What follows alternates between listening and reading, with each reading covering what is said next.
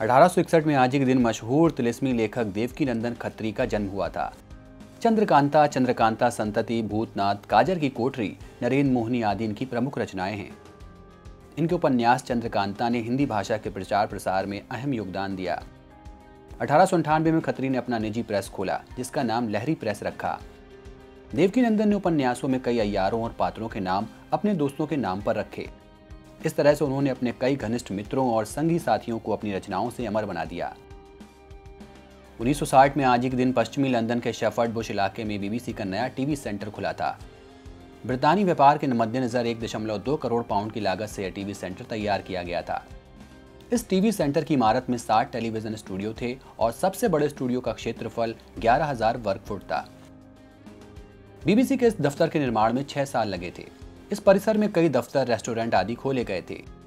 BBC के अध्यक्ष Gerald beetle ने इस बात पर भी ज़ोर दिया कि इस नए दफ्तर का निर्माण पूरा हो जाने के बाद पूरे ब्रिटेन में दिखाए जा रहे सस्ते अमेरिकी प्रोग्रामों पर रोक लग सकेगी। आज के दिन उन्नीस में अर्जेंटीना में पहली महिला राष्ट्रपति के रूप में Maria Stella Isabel Martinez de Peron ने शपथ ली थी। तैतालीस वर्ष की उम्र में राष्ट्रपति बनने वाली मारिया देश के इतिहास में सबसे कम उम्र की राष्ट्रपति थी। मारिया के पति और अर्जेंटीना के तत्कालीन राष्ट्रपति युआन पैरोन ने तबीयत खराब होने की वजह से अपना पद छोड़ दिया था। माना जाता है कि अर्जेंटीना के शक्तिशाली गुटों, जिनमें फौज और कर्मचारी संगठन भी शामिल थे, उन सबने मारिया का समर्थन किया था। उन्नीस सौ अट्ठासी में आज ही दिन राजस्थान की मशहूर लोक गायिका गौरी देवी का निधन हुआ था। गौरी देवी ने राष्ट्रीय और अंतर्राष्ट्रीय स्तर पर मांड गायकी में देश का नाम ऊँचा किया था। मांड गायकी के अलावा गौरी देवी ठुमरी भजन और गज़ल गायन भी करती थी। 2013 में इन्हें राजस्थान रत्न पुरस्कार से सम्मानित किया गया। इन्हें मरु कोकिला कहा जाता है। 2007 में आज के दिन एप्पल का पहला स्मार्टफ़ोन आईफोन बाज़ार में आया था।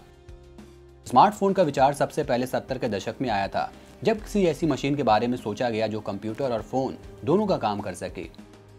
हालाँकि इस कल्पना को सच्चाई में तब्दील होने में काफ़ी वक्त लग गया। एप्पल ने आईफोन में दूसरे स्मार्टफोनों के मुकाबले कुछ अलग और उच्च तकनीक प्रोग्राम डाले, जिन्होंने उसे बाज़ार में खास जगह दिलाई।